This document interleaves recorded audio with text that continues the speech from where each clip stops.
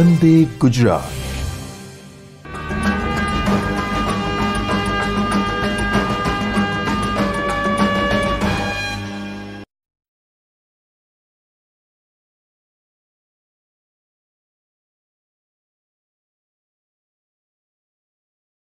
નમસ્તે મિત્રો. ધોરણ છની અંદર આપણે જે આજે પ્રકરણ લઈશું સંખ્યા પરિચય. સંખ્યા પરિચયની અંદર તમે આગળના અંકની અંદર તમે શીખી ગયા છો કે કોઈ પણ નાની સંખ્યા, મોટી સંખ્યા, એના અંકો, એની સ્થાન કિંમત, એનું અંકનું મૂલ્ય. હવે આગળ આપણે જે સંખ્યા લઈશું કે એની અંદર એ સંખ્યા બનાવવા માટે એના સ્થાન કિંમતના આધારે સંખ્યાનું વિસ્તરણ કઈ રીતે થાય તો સંખ્યાના વિસ્તરણ માટે સૌથી પહેલાં આપણે એક અંકથી માંડીને બે, ત્રણ, ચાર એમ અલગ અલગ અંકની નાની અને મોટી સંખ્યા વિશે વાત કરી. છે તો મને કહી શકશો કે એક અંકની સૌથી મોટી સંખ્યા કઈ છે? બોલો. નવ. સરસ. એક અંકની સૌથી મોટી સંખ્યા છે નવ. હવે એ સંખ્યાની અંદર જો તમે એક ઉમેરો તો તમને કઈ સંખ્યા મળશે? દસ. આ દસ છે એ બે અંકની સૌથી નાની સંખ્યા છે. એટલે કે એક અંકની સૌથી મોટી સંખ્યા છે. એમાં તમે એક ઉમેરશો તો તમને બે અંકની સૌથી નાની સંખ્યા મળશે. એ જ રીતે બે અંકની સૌથી મોટી સંખ્યા કઈ? વેરી ગુડ બે અંકની સૌથી મોટી સંખ્યા નવ્વાણું. એ જ રીતે ત્રણ અંકની સૌથી મોટી સંખ્યા કઈ? બોલો. ત્રણ અંકની સૌથી મોટી સંખ્યા તો લોકોને સુધારો કરવો છે આમાં કે ત્રણ અંકની સૌથી મોટી સંખ્યા સો કીધી. તમને લાગે છે કે આ જવાબ બીજો હોઈ શકે?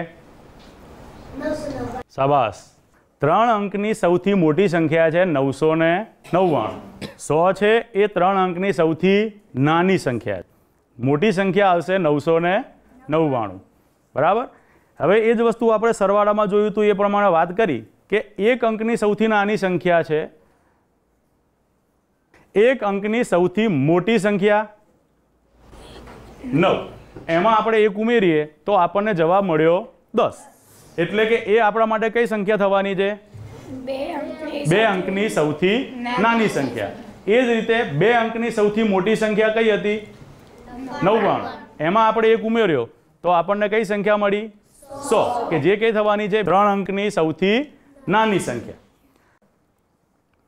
એક અંકની સૌથી મોટી સંખ્યા વત્તા એક બરાબર બે અંકની સૌથી નાની સંખ્યા. એટલે કે નવ વત્તા એક બરાબર દસ. હવે એનો જો ભાગ પાડીએ તો દસ ગુણ્યા એક, એટલે કે એક વખત દસ. એ જ રીતે બે અંકની સૌથી મોટી સંખ્યા, એમાં આપણે એક ઉમેરીએ તો આપણને મળે છે ત્રણ અંકની સૌથી નાની સંખ્યા. એટલે કે નવ્વાણું વત્તા એક બરાબર આપણને જવાબ મળે છે સો.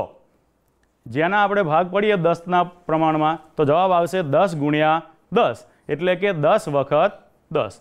એ જ રીતે આગળ, ત્રણ અંકની સૌથી મોટી સંખ્યા, એમાં આપણે એક ઉમેરીએ, તો આપણને શું મળે છે? ત્રણ અંકની સૌથી મોટી સંખ્યામાં એક ઉમેરીએ, તો શું મળે છે? ચાર અંકની સૌથી નાની સંખ્યા. એટલે કે નવસો નવ્વાણુંમાં આપણે એક ઉમેરીએ તો આપણને જવાબ મળે છે હજાર. એના પણ દસના ગુણકમાં ભાગ પાડીએ તો શું આવશે? દસ ગુણ્યા સો. એટલે કે દસ વખત સો અથવા તો સો વખત દસ. હવે આ વસ્તુ થઈ. એમાં આપણે એના કરતાં આગળ જઈએ. તો જેમ આપણે જોયું કે હજાર, કે જે ચાર અંકની સૌથી નાની સંખ્યા છે. હવે એ જ રીતે આપણે જો ચાર અંકની સૌથી મોટી સંખ્યાની વાત કરીએ તો એ સંખ્યા કઈ મળશે? બોલો. ખૂબ સરસ. તો ચાર અંકની સૌથી મોટી સંખ્યા છે? નવ હજાર નવસો નવ્વાણું. હવે એ ચાર અંકની સૌથી મોટી સંખ્યામાં આપણે એક ઉમેરીએ, તો આપણને જવાબ શું મળશે? દસ હજાર. એટલે કે નવ હજાર નવસો નવ્વાણુંમાં આપણે એક ઉમેરીએ, તો આપણને મળશે દસ હજાર. એટલે કે ચાર અંકની સૌથી મોટી સંખ્યામાં એક ઉમેરીએ, તો આપણને સંખ્યા મળે છે પાંચ અંકની સૌથી નાની સંખ્યા. બરાબર? ચાર અંક. સૌથી મોટી સંખ્યામાં એક ઉમેરતા જવાબ મળે છે આપણને પાંચ અંકની સૌથી નાની સંખ્યા. એટલે કે નવ હજાર નવસો નવ્વાણું. એમાં આપણે એક ઉમેરીએ તો આપણને મળશે દસ હજાર અને દસ હજાર એટલે દસ ગુણ્યા હજાર. એ જ રીતે હવે આપણને જે અત્યારે દસ હજાર મળ્યા છે, એ કેટલા અંકની સંખ્યા થઈ? પાંચ અંકની. અને પાંચ અંકની સૌથી નાની સંખ્યા છે. હવે એ જ રીતે પાંચ અંકની સૌથી મોટી સંખ્યા ઉપર જઈએ. તો જેમ પાંચ અંકની સૌથી નાની સંખ્યા છે દસ હજાર, તો એ જ રીતે પાંચ અંકની સૌથી મોટી સંખ્યા થશે. કઈ થશે? સરસ. પાંચ અંકની સૌથી મોટી સંખ્યા થાય નવ્વાણું હજાર નવસો નવ્વાણું. અને એ જ રીતે દરેકમાં આપણે જેમ કર્યું એ રીતે કે નવ્વાણું હજાર નવસો નવ્વાણું. કે જે પાંચ અંકની સૌથી મોટી સંખ્યા છે જો આપણે એમાં એક ઉમેરીએ તો કેટલો જવાબ મળશે આપણને? એક લાખ. એટલે કે પાંચ અંકની સૌથી મોટી સંખ્યા એમાં એક ઉમેરીએ તો આપણને મળે છે એક લાખ. એટલે કે છ અંકની સૌથી નાની સંખ્યા. બરાબર? એટલે કે પાંચ અંકની સૌથી મોટી સંખ્યામાં એક ઉમેરીએ તો છ અંકની સૌથી નાની સંખ્યા. એટલે કે નવ્વાણું હજાર નવસો નવ્વાણુંમાં એક ઉમેરીએ તો સંખ્યા મળે છે લાખ. અને લાખના આપણે જો દસના ગુણકમાં ભાગ પાડીએ તો કે દસ ગુણ્યા દસ ગુણ્યા કેટલા થશે? દસ લાખ. દસ ગુણ્યા દસ હજાર. બરાબર?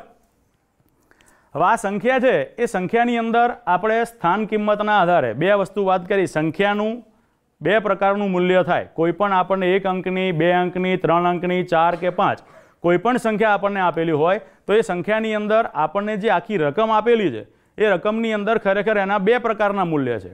એક, તો એનું પોતાનું અંકનું મૂલ્ય અને બીજું કે પોતે કયા સ્થાન ઉપર રહેલું છે. એટલે કે એ જે તે સંખ્યાની એની સ્થાન કિંમત. અંક મૂલ્ય છે, એ ગમે ત્યાં હશે, તો એનું મૂલ્ય કેવું રહેવાનું છે? એવું ને એવું જ.